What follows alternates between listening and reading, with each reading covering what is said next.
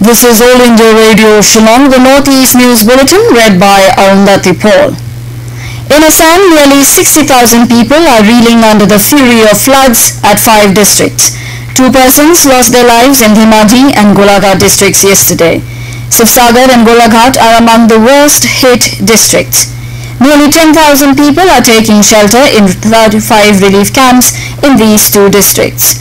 Road movement was disrupted in many places due to floods. Different agencies have rescued 2,500 people at Golaghat district.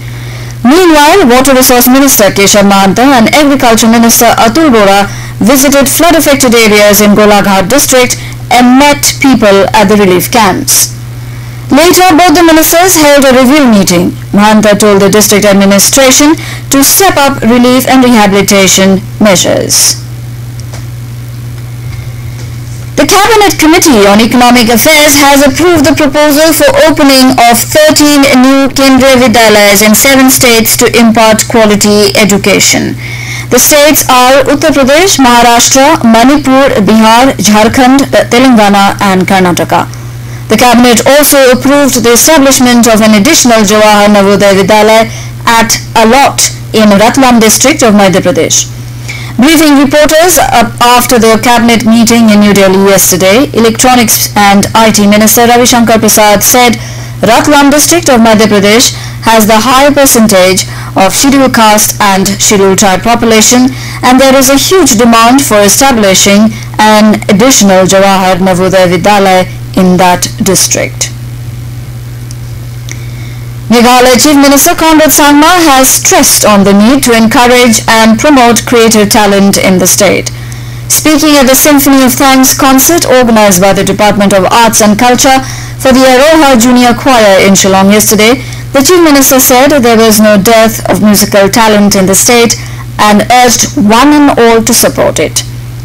Expressing appreciation to Aroha Junior Choir that won accolades at an international competition recently, the Chief Minister also encouraged the musically gifted young generation to consider music as a viable career option. He added that the city-based Aroha Junior Choir won in the International A Cappella Group category at the Llangollen Eisteddfod Musical Festival held in Wales, UK recently. At least 20 families were rendered homeless and 35 shops were reduced to ashes when the fire broke out in Roing Township in Lower Dibang Valley district of Arunachal Pradesh. However, no casualty has been reported. The fire was spotted at Middle Market Line and five fire tenders fought for several hours to douse the flame.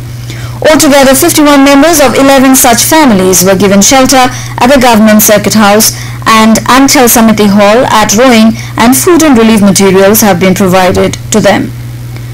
Immediate monetary relief as relief has been provided to all the families by the administration as per norms.